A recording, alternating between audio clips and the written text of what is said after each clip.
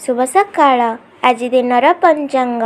ଆଜି ଶ୍ରୀ ଶ୍ୱେତବରାହ କଳ୍ପର ବୈବସ୍ୱତ ମନ୍ୱନ୍ତର। ଦ୍ୱିତୀୟ ପରାର୍ଦ୍ଧ ଉତ୍ତରାୟଣ ବର୍ଷା ଋତୁ। ଆଷାଢ଼ ମାସ କୃଷ୍ଣପକ୍ଷ ତ୍ରୟୋଦଶୀ ତିଥି ରବିବାର ଚୁକାପ୍ତ ପାଞ୍ଚ ହଜାର ଏକଶହ ଚବିଶ। ବିକ୍ରମ ସମ୍ବତ ଦୁଇ ହଜାର ଅଣାଅଶୀ।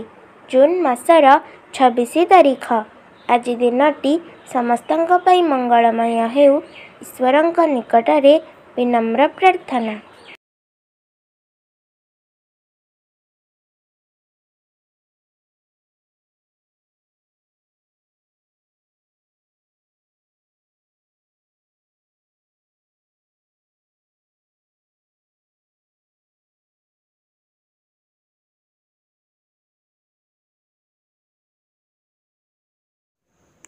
ଭୃଗୁ ଋଷିଙ୍କର ପୁତ୍ର ମୃକଣ୍ଡ ସନ୍ତାନହୀନ ଥିବାରୁ ବିଶେଷ ଚିନ୍ତିତ ଥିଲେ।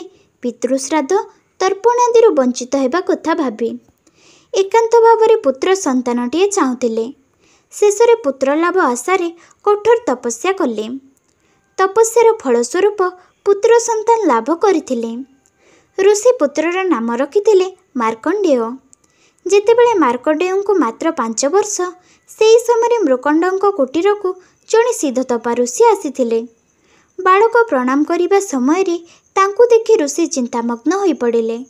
ମାର୍କଣ୍ଡେୟଙ୍କ ପିତା ଏହା ଲକ୍ଷ୍ୟ କରିଥିଲେ।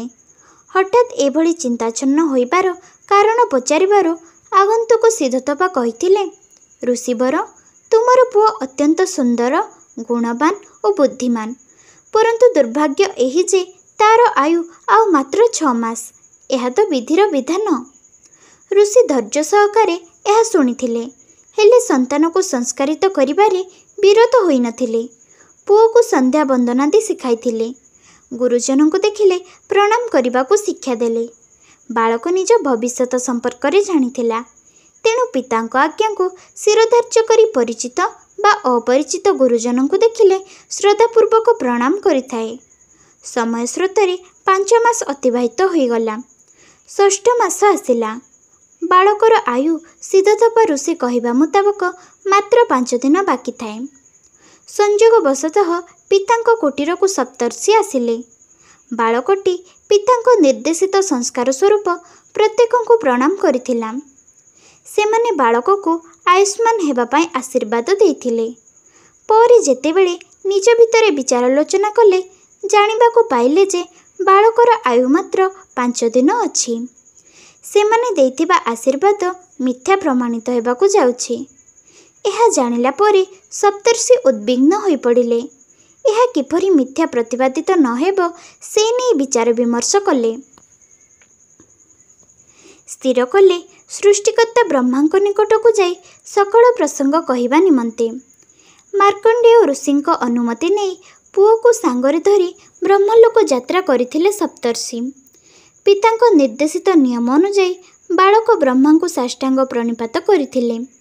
ଋଷିକୁମାରଙ୍କୁ ମଧ୍ୟ ବ୍ରହ୍ମା ଆୟୁଷ୍ମାନ ଭବ କହି ଆଶୀର୍ବାଦ ଦେଇଥିଲେ। ଏହି ସମୟରେ ସପ୍ତର୍ଷି ପ୍ରଜାପିତା ବ୍ରହ୍ମାଙ୍କୁ କହିଥିଲେ ହେ ସୃଷ୍ଟି ସର୍ଜନକାରୀ ଏହି ବାଳକର ଆୟୁ ତ ନିକଟରେ ଶେଷ ହୋଇଯାଉଛି।